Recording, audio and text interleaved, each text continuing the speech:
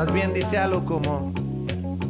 Ey, sabes, hasta la fecha. La música urbana, específicamente el hip hop y las propuestas independientes, han encontrado en los medios digitales un excelente espacio para distribuir sus contenidos y satisfacer a sus admiradores. Estamos en todas las, las tiendas digitales, nos van a poder encontrar en Spotify, iTunes, Google Play, Apple Music,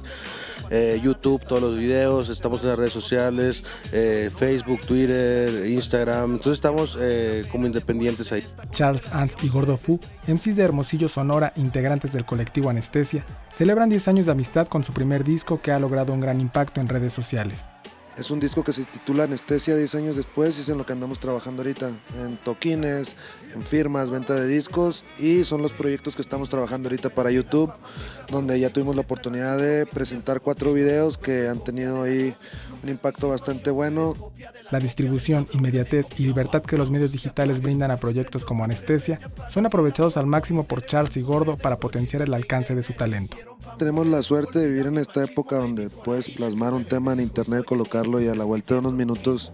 tenga una difusión enorme. Y creo que contamos con esa suerte de, de, de no trabajar con una transnacional que nos diga qué podemos grabar y qué no podemos grabar llevar Hacemos lo que nos gusta sin esperar que alguien nos diga cómo hacerlo. Siempre hacemos lo que queremos y distribuimos las cosas a nuestro gusto y cuando, cuando nos parece mejor. Los pros del trabajo independiente han fortalecido al colectivo Anestesia, que continuará llegando a todos los rincones de manera virtual, pero también físicamente con la gira que concluirán en abril próximo. Vamos a estar presentándonos en Ciudad Juárez y Chihuahua el fin, el fin de semana que viene. Después viene con el proyecto de Charles Sanz. Después vamos a firma de autógrafos de Anestesia en San Miguel de Allende, San Juan del Río, vamos y tocamos a Jalapa, vamos y tocamos a Atlisco con Anestesia, después nos vamos a Ensenada, Mexicali, Tijuana con el proyecto de Charles Sanz,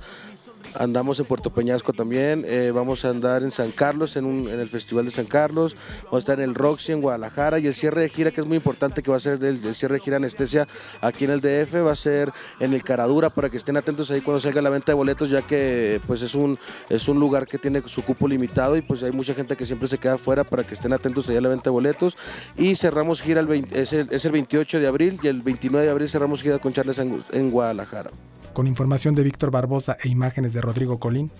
Notimex.